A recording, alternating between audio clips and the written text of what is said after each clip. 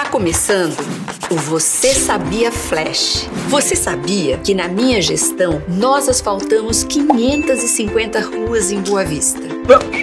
E corrigimos mais de 50 pontos críticos de alagamento? Caraca. Se você não sabia, agora já sabe.